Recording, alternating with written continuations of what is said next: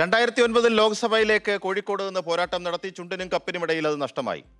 പക്ഷേ ബേപ്പൂരിൽ കഴിഞ്ഞ നിയമസഭാ തെരഞ്ഞെടുപ്പിൽ പാർട്ടി മത്സരിക്കാൻ നിയോഗിച്ചു. മികച്ച ഭൂരിപക്ഷത്തോടുകൂടി വിജയിച്ചു. യുവജന പ്രസ്ഥാനത്തിന്റെ അഖിലേന്ത്യാ അമരത്ത് വ്യത്യസ്തയാർന്ന പ്രവർത്തന ശൈലിയുടെ സംഘടനാ രംഗത്ത് ശക്തമായ സാന്നിധ്യം. മുഹമ്മദ് റിയാസ് അദ്ദേഹം ഈ മന്ത്രിസഭയിലേക്ക് എത്തുന്ന പ്രായം കുറഞ്ഞ ഏറ്റവും പ്രായം കുറഞ്ഞ ശക്തരായ യുവ നേതാക്കൾ ഒരാളാണ്. ശ്രീ മുഹമ്മദ് റിയാസ് ആദ്യം അഭിനന്ദനങ്ങൾ. നന്ദി സുരേഷ്.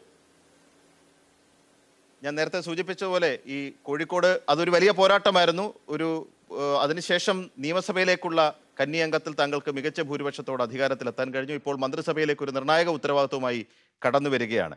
ഒരു മന്ത്രിസ്ഥാനം ഏൽക്കാൻ ഒരു ഉത്തരവാദിത്വം പാർട്ടി ഏൽപ്പിച്ചിരിക്കുന്നു. അതിനോടുള്ള ആദ്യ പ്രതികരണം എന്താണ്?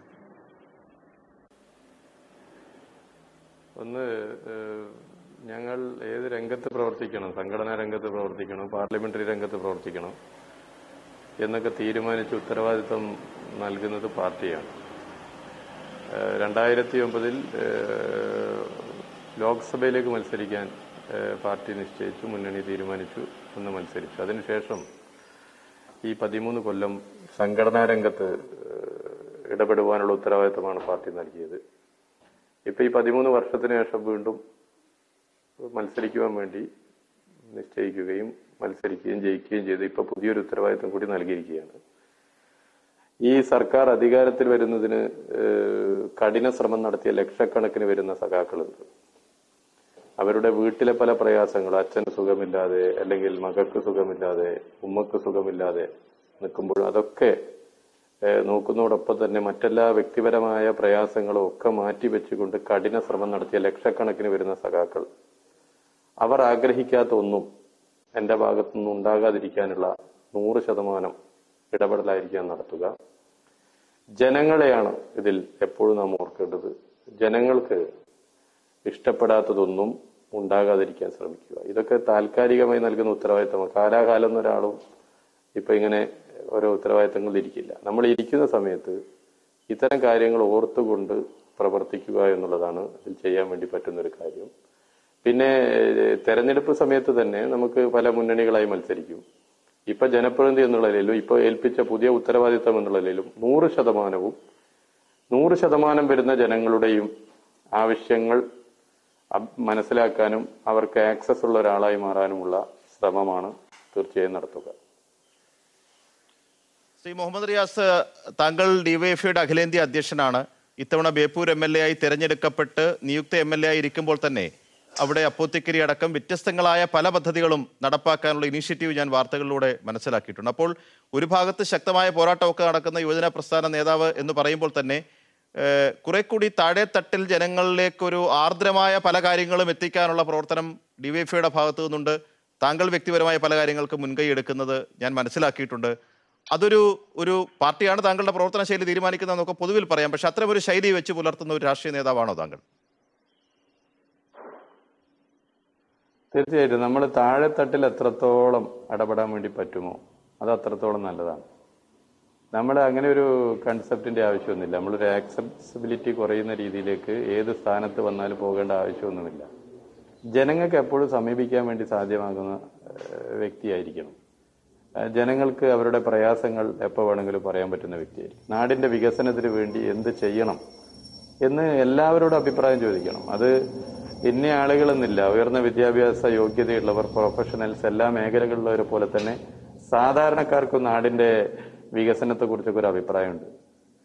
എല്ലാവരോടും അഭിപ്രായം ചോദിക്കാൻ വേണ്ടി പറ്റണം. ഇതിൽ പ്രധാനമായിട്ടും ശ്രദ്ധിക്കേണ്ട ഒരു കാര്യം എനിക്ക് തോന്നുന്നു ഈ അധികാരമൊക്കെ വരുന്ന സമയത്ത് മനുഷ്യനിൽ അറിയാതെ വരുന്ന ഒരു പ്രത്യേകതരം ഒരു പ്രവണതയുണ്ട്. അത് അഹങ്കാരമാണ്. അഹങ്കാരമില്ലാതിരിക്കാൻ സ്വന്തം മനസ്സിനകത്ത് വലിയൊരു പോരാട്ടം ഓരോ ദിവസവും നടത്തുക അതാണ് ചെയ്യേണ്ടത് ഇതുവരെ എന്റെ ജീവിതത്തിൽ അത് ഉണ്ടായിട്ടില്ല എന്ന് ഉറച്ചു വിശ്വസിക്കുന്നയാളാണ് ഞാൻ.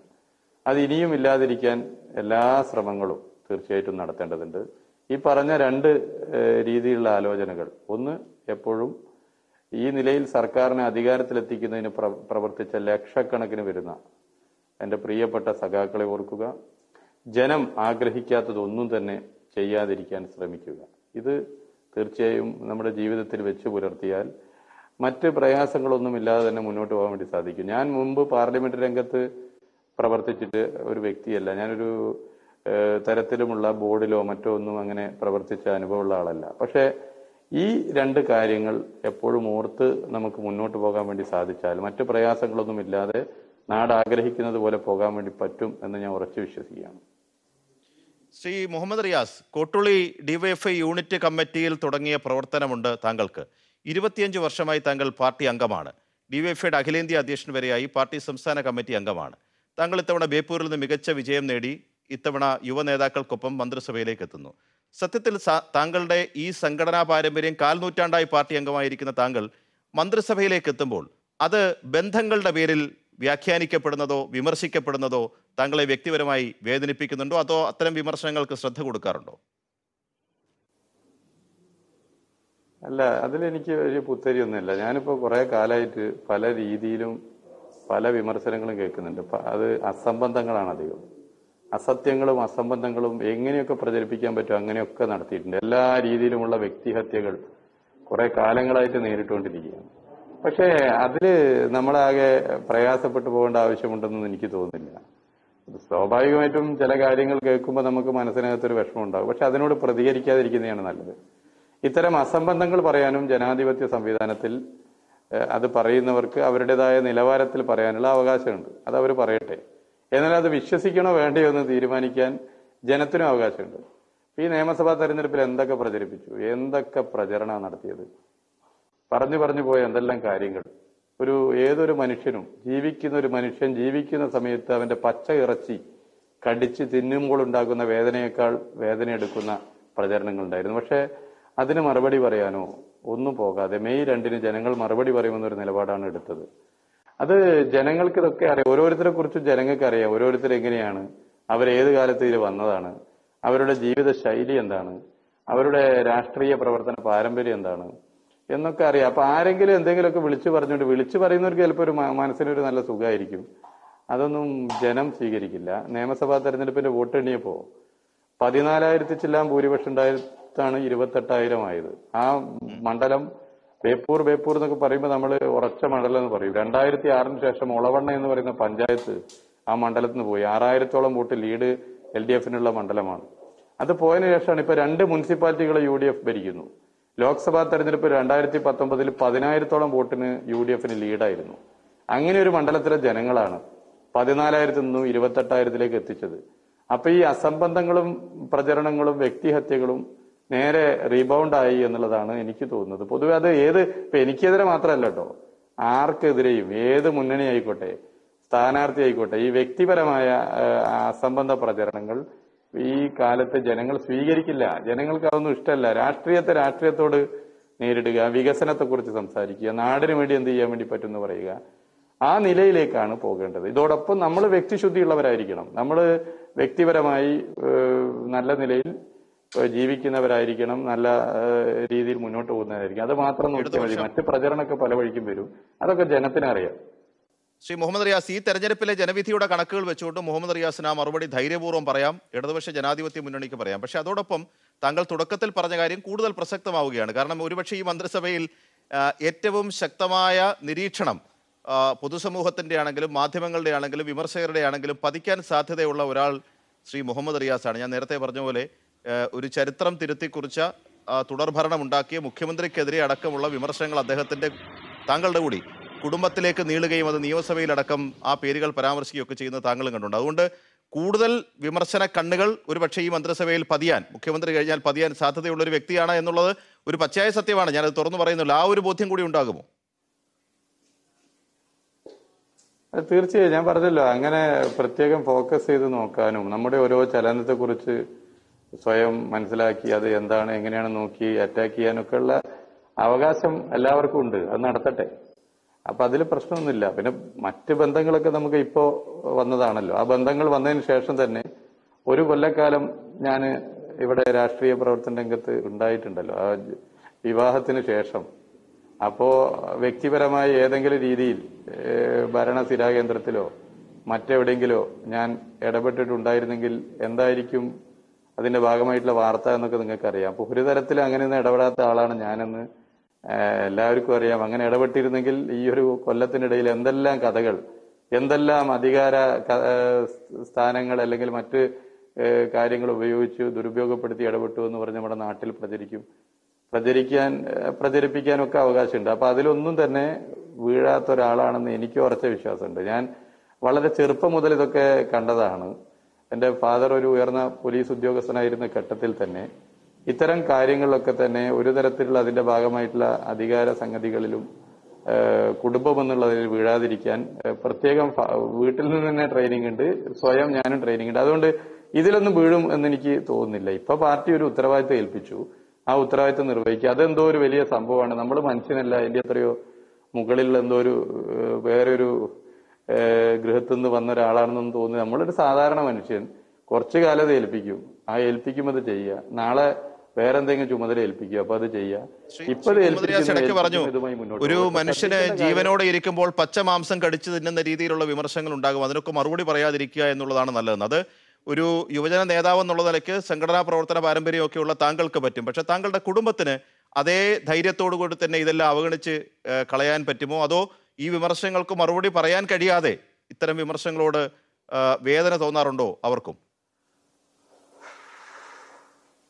അവർക്ക് നല്ല വേദനയൊക്കെ ഉണ്ടാകാറുണ്ട്.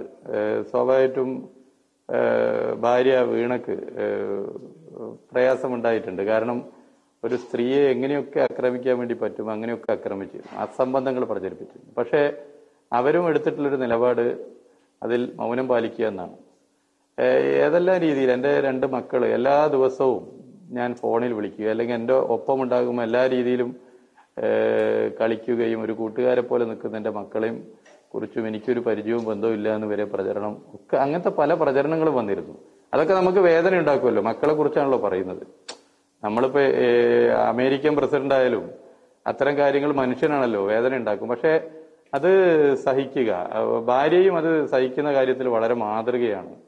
വീണ വളരെ മാതൃകാപരമായിട്ടാണ് ഇടപെട്ടുള്ളത്. വളരെ പക്വതയോടുകൂടി ഞാൻ തന്നെ അത്ഭുതപ്പെട്ടു പോയിട്ടുണ്ട്. അത്തരം കാര്യങ്ങൾ സമീപനം എടുത്തിട്ടില്ല പൊട്ടി തെറിക്കാതെ പൊട്ടിക്കരയാതെ അതിനോട് പ്രതികരിക്കാതെ തന്നെ വളരെ പക്വതയോടുള്ള നിലപാടാണ് അവർ എടുത്തിട്ടുള്ളത് അപ്പൊ അതൊക്കെ ഉണ്ടാകും. അതിനോട് സമചിത്തതയോടുകൂടിയും പക്വതയോടും കൈകാര്യം ചെയ്യുക കാലം അതിന്റെ വസ്തുതകൾ എന്തെന്ന് തെളിയിക്കുന്ന സ്ഥിതിയാണ് ഉണ്ടാവുക അല്ല അന്നൊരു മുഖ്യമന്ത്രിയുടെ മകൾ എന്നുള്ള നിലയ്ക്കാണ് ഈ വിമർശനം ഒരു ഐ ടി സംരംഭകയായി വീണ കെട്ടതെങ്കിൽ ഇന്നൊരു മന്ത്രിയുടെ ഭാര്യ എന്നുള്ള ഒരു ഘടകം കൂടിയുണ്ട്. അപ്പോൾ വിമർശനങ്ങൾ ഒരു ദിശയിലാണ് നേരത്തെ ഉണ്ടായിരുന്നെങ്കിൽ രണ്ട് ഉത്തരവാദിത്തങ്ങൾ ആ, ആ മട്ടിൽ ഇനിയുള്ള കാലമാണ് വരുന്നത്. അല്ല തീർച്ചയായും അതൊക്കെ മനസ്സിലാക്കുന്നവരാണ് ആണ് അവർ. അനാവശ്യമായി അങ്ങനെ ഒരു കാര്യത്തിലും ഇടപെടാത്ത ഒരു വ്യക്തിയാണ്. അത് മാത്രമല്ല എല്ലാ കാര്യങ്ങളും ഇപ്പൊ രാഷ്ട്രീയ കാര്യങ്ങൾ. രാഷ്ട്രീയ കാര്യങ്ങളിലൊക്കെ തന്നെ വളരെ കൃത്യമായി കാര്യങ്ങൾ മനസ്സിലാക്കാൻ അതിൽ അവരുടെ നിലപാട് ചർച്ച ചെയ്യുന്ന ഒരു സ്ഥിതിയുണ്ട്. ഇപ്പോ കുടുംബത്തിലാണെങ്കിൽ എന്റെ വാപ്പ ഉമ്മ എല്ലാ കാര്യങ്ങളും അവർ നേരിട്ട് ചോദിച്ച് മനസ്സിലാക്കും. എന്റെ മക്കളുമായി എന്റെ ഇളയ മകൻ അയാൻ എല്ലാ കാര്യത്തിനും ഇപ്പൊ എന്നോട് സംസാരിക്കുന്നതിനേക്കാൾ കൂടുതൽ അവരോടാണ് സംസാരിക്കുന്നത്. കഗു ഇഷാനുമായിട്ടുള്ള അവരുടെ ഒരു മകനുമായിട്ടുള്ള ബന്ധം. അവരുടെ മാതാപിതാക്കളായിട്ട് എല്ലാ കാര്യങ്ങളും മൈന്യൂട്ടായിട്ട് മനസ്സിലാക്കുന്നു. അനാവശ്യമായി ഒരു കാര്യത്തിൽ ഇടപെടുന്നവരല്ല. അപ്പൊ അങ്ങനെ ഉണ്ടാവുമ്പോൾ ഇനിയിപ്പോ എന്ത് വന്നാലും ഒരു പ്രയാസവും ഉണ്ടാകില്ല എന്ന് ഞങ്ങൾക്ക് ഉറപ്പാണ്. എന്തായാലും മുഹമ്മദ് റിയാസും വീണയും രണ്ട് വ്യക്തികളാണ്. നിങ്ങൾക്ക് നിങ്ങളുടെ ജീവിതം തിരഞ്ഞെടുക്കാനോ ജീവിക്കാനോ ഒക്കെയുള്ള സ്വാതന്ത്ര്യത്തെ ഏതെങ്കിലും നേതാക്കളുടെ അധികാര സ്ഥാനവുമായി തളച്ചിട്ട് നടത്തുന്ന വിമർശനങ്ങൾ ഒരു ശതമാനം പോലും ശരിയല്ല എന്ന് അന്നും ശക്തമായ നിലപാട് ഞങ്ങളും ഞാനും ഒക്കെ പറഞ്ഞിട്ടുണ്ട്. ആ നിലപാട് ഇപ്പോഴും ആവർത്തിക്കുകയാണ്. ഒരു കാര്യം കൂടി അവസാനമായി ശ്രീ മുഹമ്മദ് റിയാസ്. ഇത്തവണ Shri Muhammad Riyas M B Rajesh K N Balagopal P Raj ഇവരൊക്കെ നോക്കിക്കഴിഞ്ഞാൽ വിദ്യാർത്ഥി യുവജന പ്രസ്ഥാനങ്ങളിൽ മുതൽ അഖിലേന്ത്യാ അമരത്ത് വരെ വരികയും അവസരം കിട്ടിയപ്പോഴൊക്കെ പാർലമെന്ററി രംഗത്ത് നന്നായി പ്രവർത്തിക്കുകയും ശോഭിക്കുകയും ഒക്കെ ചെയ്തൊരു മികച്ച ടീമാണ് അധികാരത്തിൽ ഏൽക്കുന്നത്. പക്ഷേ ആ മികച്ച ടീം അധികാരത്തിൽ ഏൽക്കുമ്പോൾ പോലും അതിന്റെ ചർച്ചകളും ശോഭകളും മുഴുവൻ ഏറ്റവും ജനകീയ പിന്തുണയുള്ള കെ കെ ശൈലജ ടീച്ചറെ ഒഴിവാക്കി എന്നുള്ള ചർച്ചകളിലേക്ക് വഴുതി മാറിപ്പോയോ? ഇല്ല അത് എന്തുകൊണ്ടാണ് എന്നുള്ളത് പാർട്ടി നേതൃത്വം പറഞ്ഞിട്ടുണ്ടല്ലോ. കഴിഞ്ഞ മന്ത്രിസഭയിൽ ശൈല ടീച്ചർ ഉൾപ്പെടെ എല്ലാ മന്ത്രിമാരും മികവുറ്റ രീതിയിൽ ഇടപെട്ടതാണ് പ്രവർത്തിച്ചതാണ്. അവരൊക്കെ ജനങ്ങളുടെ വലിയ അംഗീകാരം ഉണ്ടായിട്ടുണ്ട്. പ്രത്യേകിച്ച് ഈ ആരോഗ്യ മേഖലയിൽ വലിയ രീതിയിലേക്കുള്ള ഇടപെടൽ നടന്നൊരു കാലമാണ്. അത് എന്തുകൊണ്ടാണെന്ന് പാർട്ടി പറഞ്ഞിട്ടുണ്ട് ഷൈല ടീച്ചർ ഇന്നലെ പറഞ്ഞിട്ടുണ്ട്. അത് ഞങ്ങളുടെ പ്രസ്ഥാനത്തിന്റെ ഒരു തീരുമാനം എന്തുകൊണ്ട് വന്നു എന്നൊക്കെ അവരൊക്കെ പറഞ്ഞ കാര്യമാണ്. അതൊന്നും വേറെ രീതിയിലേക്കുള്ള പ്രയാസങ്ങൾ ഉണ്ടാവുമെന്ന് എനിക്ക് തോന്നുന്നില്ല. വളരെ നന്ദി ശ്രീ മുഹമ്മദ് റിയാസ്. ഈ മനസ്സ് തുറന്ന് ഈ കാര്യങ്ങൾ ഞങ്ങളുടെ പ്രേക്ഷകരോട് ഞങ്ങളോട് പങ്കുവച്ചതിന് ഒപ്പം എല്ലാ ഭാവുകങ്ങളും ഈ പറഞ്ഞ നിലപാടുകളുമായി സധൈര്യം മുന്നോട്ട് പോകാൻ കഴിയട്ടെ. തീർച്ചയായിട്ടും ഒരു ഉത്തരവാദിത്തപ്പെട്ട മാധ്യമം എന്നുള്ള നിലയ്ക്ക് എല്ലാ ക്രിയാത്മകമായ പിന്തുണയും ഉണ്ടായിരിക്കും. വിമർശനങ്ങൾ സ്വാഭാവികമായിട്ടും വിമർശനങ്ങൾ അനിവാര്യമാകുന്ന ഘട്ടത്തിൽ മാത്രം അതുണ്ടായിരിക്കും. വ്യക്തിപരമായ നല്ല സൗഹൃദങ്ങൾ ഇതുപോലെ നമുക്ക് തുടരുകയും ചെയ്യാം. സന്തോഷം. നന്ദി.